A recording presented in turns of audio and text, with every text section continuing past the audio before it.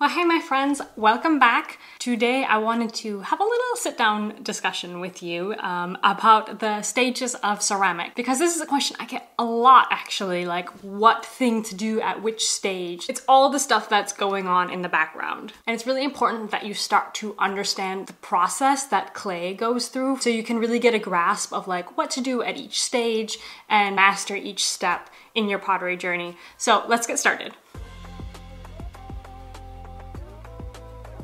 So the first keyword I want to talk about is greenware. Now greenware is all clay that hasn't been fired yet. So it goes from you know, fresh clay straight from the bag all the way to a finished pot, but that hasn't been fired yet. All of this is called greenware. So within the greenware category, we're going to be going from wet to dry because this is really uh, what puts everything in each category is how wet it is or how dry it is. So of course we'll be starting with slip. Slip is simply very wet clay. Um, it's clay that has a lot of water in it. It's like liquid and it is used for all kinds of things. So maybe you've heard of the term slip casting.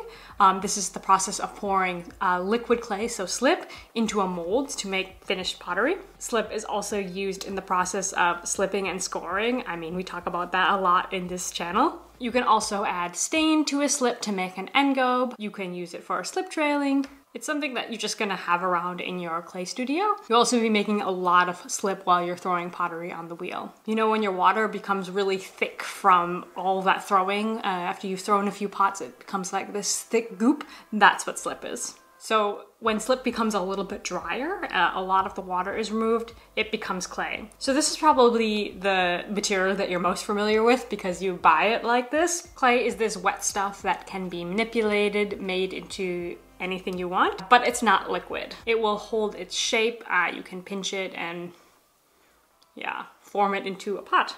There's of course a range within this category. There's like the uh, really sloppy stuff that you get right after you're reclaiming your clay, all the way to like really hard stuff that you know you left in a bag in the corner of your studio and forgotten about, and now you have to wedge. All this is clay, of course. What's important to know is this is the stuff that you're going to be creating with, uh, whether hand building or on the wheel. So once you've made your pot and it's become a little bit drier, uh, we call this leather hard. Now, I'm not gonna get into the like minor controversy of what to call leather hard. Some people just call it leather and they reserve the word leather hard for when it's on the harder side, and then there's soft leather. I'm not gonna get into that. This is what I call it. I call everything in this stage leather hard, and then there's like a soft leather hard or a hard leather hard.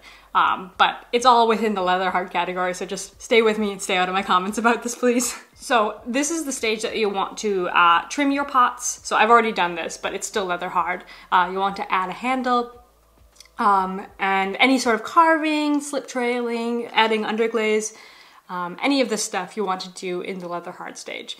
So I check for leather hardness in two ways. Um, the first way is I just like handle it and if it can kind of, I can like move it around and it's not going to collapse on itself, that means it's leather hard. If it's gonna hold your fingerprints, um, that means it's not quite leather hard. So you should be able to touch it and not have clay coming off on your hands or not leave an indent from where you're touching it. However, it shouldn't be too dry. So what I like to do is I will kind of manipulate the rim a little bit. I just like squish it a little bit. And do you, do you see how like the rim is actually moving? It's just a tiny, tiny bit. Maybe you can't see it, but the rim is moving just a touch. Um, this is the perfect leather hard stage. You don't want it super flexible because you'll damage your pot and also like you won't be able to carve into it while it's still wet or add a handle or anything. So you want to be able to move it ever so slightly, but not very much. So a huge question I get a lot is how long to wait between clay and leather hard? Like how long does that take? I'm sorry, I cannot answer this question for you. It depends. The, the, reason is it depends on so many things. So it depends on uh, how much water you added to your clay while you were making your pot, um, the climate in your area, how hot or how cold it is, the humidity in your area, the humidity in your room, if there's a draft in your room, if there's like a fan going on somewhere. Um, all of these things are going to affect how long it takes something to dry. Um, but I will give you an example uh, in my studio space. If I leave my pots out overnight uh, in summertime, they'll be way too hard to trim by the next morning. I never do that. I'll always put some plastic over them. Um, but in the wintertime, when the studio is quite cold, uh, I can do that and they'll be like perfect by the next morning.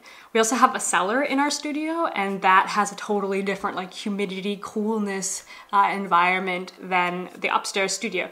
So um, sometimes I'll put stuff down there when I want it to dry slower. They'll dry faster in our kiln room versus like in the main studio space. So um, it's really just trial and error. You know, err on the side of your pots drying too slow, but just kind of like watch them over time. Use the techniques that I just explained to figure out when is the right stage. It really will take like from a few hours to overnight, maybe a day, I don't know. But if you leave them under plastic, they can stay quite a long time. And actually, I'm about to record another video on drying that will come out probably a week after this video. Definitely watch that if you want to like learn like how to control the drying between clay and leather hard and bone dry. Okay, I've talked enough about leather hard. Let's get to the next step, and that is bone dry. So this step is pretty easy. Um, this just means that the clay has completely dried out. So there's no more water in this pot. This is the most fragile stage that your pots are ever going to be in. So if I drop it from like this height, it's totally gonna break. Like you need to be really fragile with this piece. And this is why transporting pottery can become so difficult. If you can transport pottery, I recommend transporting it in the leather hard stage. Um, but that's something else for another video. So the important thing is that when your pot is bone dry, this is when you want to be putting it into the kiln for the bisque. You want to make sure that it's completely dried out uh, before you put it in the kiln because this is the main reason why things crack or explode in the kiln. So now these are the four stages of greenware that we just went through. So slip, clay, leather hard, bone dry. All of these stages, you can kind of cycle back and forth between them um, by adding or removing water. But once your pot goes into the kiln for the first time, it becomes something totally different. It's a chemical transformation from this to this. So unless you're doing single fire ceramics, your bisque will be the first firing. We fire at 900 degrees Celsius. Um, there's a range in there, of course, but um, it's more or less that temperature. And I just wanted to say another question that I get really often is, can I do this in my oven, my oven at home?